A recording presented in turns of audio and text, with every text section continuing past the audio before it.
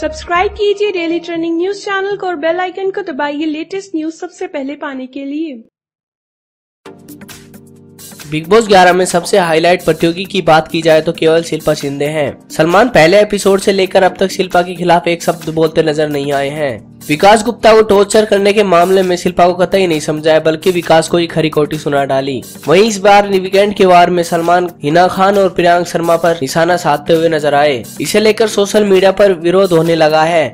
कई लोगों ने वीडियो और मैसेज के ज़रिए समझाने की कोशिश की है कि हिना खान को भी शिल्पा और अर्शी ने मिलकर काली कहा है। प्रियांक और लव पर कई तरह के कमेंट किए गए, लेकिन इन सब पर सलमान ने चुप्पी साध रखी थी। इसे देखते हुए ट्विटर पर एक फैंस ने शिल्पा का एक वीडियो शेयर किया है, जिसमें शिल्पा और अर्शी मिलकर हिना खान को काली कहती हुई नज़र आती हैं।